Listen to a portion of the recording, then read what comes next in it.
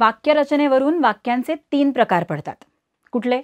केवल वाक्य मिश्र वाक्य आणि संयुक्त वाक्य. चला आज आपण आता या तिन्ही वाक्य प्रकारांचा अभ्यास करूयात. तुमच्याकडे दिलेल्या कागदांवर एकेका प्रकारची वाक्य लिहिली आहेत ती आता वाचूया. सुरू करतोस? राजू पुस्तक वाचतो. उद्यापासून परीक्षा सुरू होईल. बस कधी येणार? अरेच्या आज दुकान बंदच दिसतंय. मी आज नाही येऊ शकत. चला आता अभयनी पाच वाक्य वाचली. हं? आता सांगा बरं या वाक्यांबद्दलचं तुमचं निरीक्षण काय आहे? ताई शेवटचं वाक्य नकारात्मक आहे आणि चौथं वाक्य उद्गारार्थी आहे. राजू पुस्तक वाचतो. हे वर्तमान काळातलंच वाक्य आहे ना ताई? परीक्षेचं वाक्य भविष्य काळातील आहे. अगदी बरोबर निरीक्षण आहेत तुमची. या प्रकारच्या वाक्यांना केवल वाक्य असं म्हणतात. हं. पण आता मी काय सांगते ते नीट लक्ष देऊन ऐका हां? या केवल वाक्यांमध्ये एकच उद्देश आणि एकच विधेय असतं. आता मागच्या व्हिडिओत आपण उद्देश विधेय म्हणजे काय हे सविस्तरपणे पाहिलं. हो की नाही? आता आपण पटकन याची उजळणी करूया. उद्देश म्हणजे काय? विधेय म्हणजे काय? चला मला कोण सांगतंय? उद्देश म्हणजे ज्याबद्दल सांगायचंय ते आणि विधेय म्हणजे जे सांगायचंय ते. बरोबर ना ताई?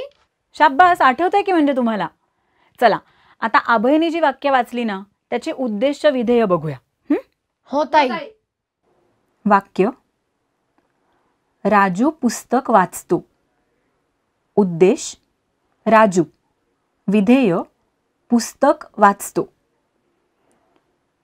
उद्यापासून परीक्षा सुरू होईल. उद्देश. परीक्षा. विधेय. उद्यापासून सुरू होईल. वाक्य. बस कधी येणार? उद्देश बस विधेय कधी येणार? वाक्य अरेच्छा आज दुकान बंदच दिसतंय. उद्देश दुकान विधेय बंदच दिसतंय. वाक्य मी आज नाही येऊ शकत. उद्देश मी विधेय येऊ शकत नाही. बर आता परत एकदा व्याख्या नीट ऐका हां. ज्या वाक्यांमध्ये एकच विधान असते. म्हणजे ज्या वाक्यांमध्ये एकच उद्देश आणि एकच विधेय असते त्याला केवल वाक्य असं म्हणतात. कळलं? चला आता कैवल्य तू वाच बरं पुढचं वाक्य. हो ताई. जेव्हा मोठी घंटा होते तेव्हा शाळा सुटते. तुला कितीही कंटाळा आला तरी तुझं टेबल तुलाच आवरायचं आहे. चंपक इतका तंद्रीत होता की तो सरळ चालतच राहिला.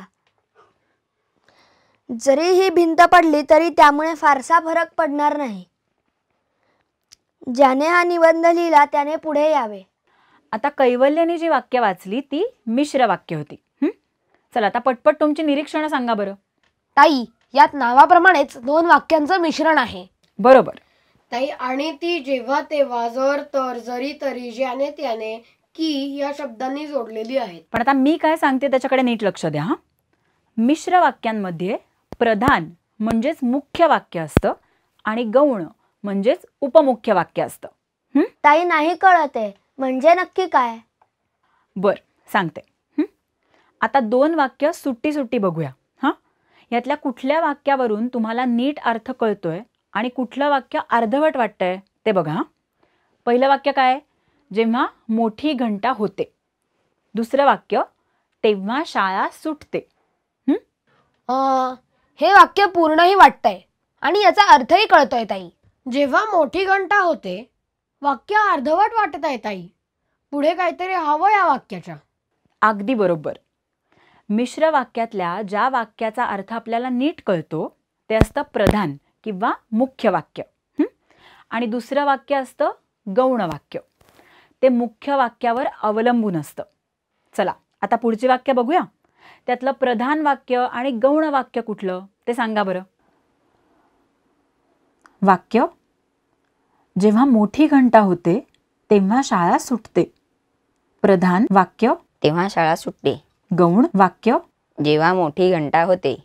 वाक्य तुला कितीही कंटाळा आला तरी तुझं टेबल तुला आवरायचंच आहे.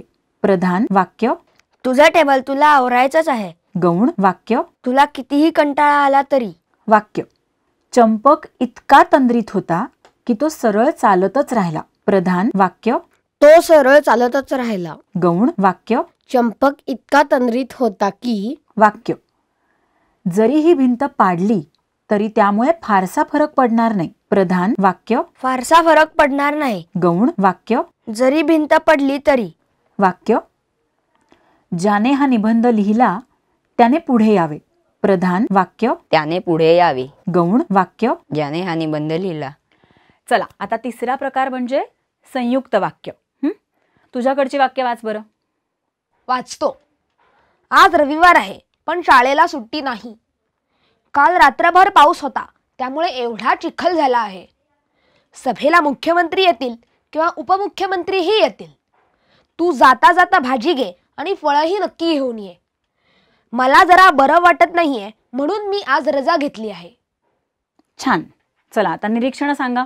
ताई मगात सारखंच आहे. दोन दोन वाक्य प्रत्येक ठिकाणी येत आहेत. मिश्र वाक्यच आहेत काही? कैवल्य तुझं अर्ध निरीक्षण बरोबर आहे. हं? यात दोन वाक्य नक्की आहेत. पण मग सांगा यातलं प्रधान वाक्य कुठलं आणि गौण वाक्य कुठलं? ताई मी दोन्ही वाक्य सुट्टी सुट्टी वाचली पण दोन्ही वाक्यांचे अर्थ कळतायत. कुठलंही वाक्य अर्धवट राहत नाहीये. अगदी बरोबर. बरं तुम्हाला कळलं का अभय काय म्हणाला ते?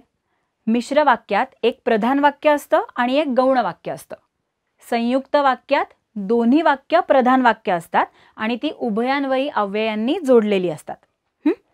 तर आता आज आपण केवल वाक्य मिश्र वाक्य आणि संयुक्त वाक्य असे तिन्ही वाक्यांचे प्रकार शिकलोय. आता पटकन उजळणी करूया? हो ताई. आपण काय शिकलो? एक. केवल वाक्य. केवल वाक्यात एकच विधान असते.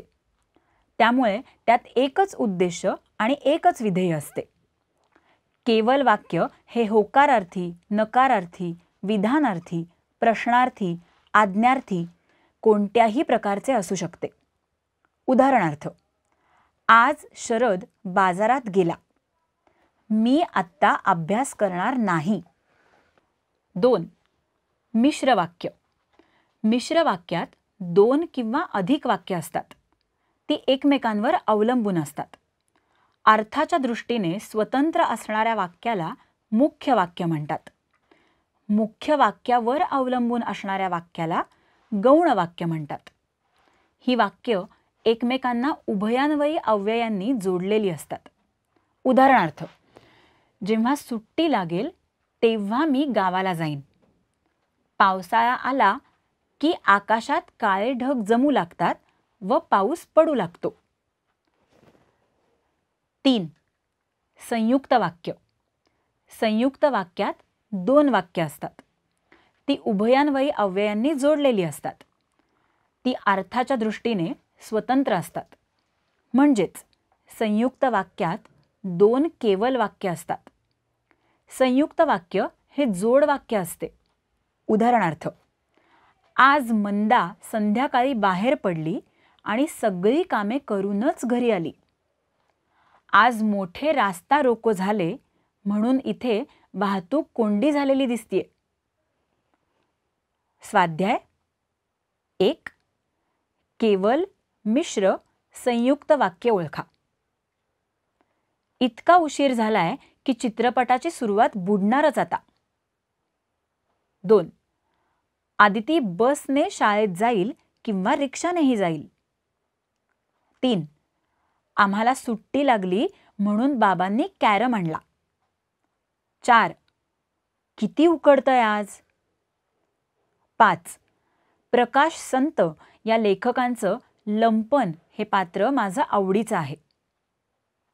दोन योग्य शब्द घालून वाक्य पुन्हा लिहा.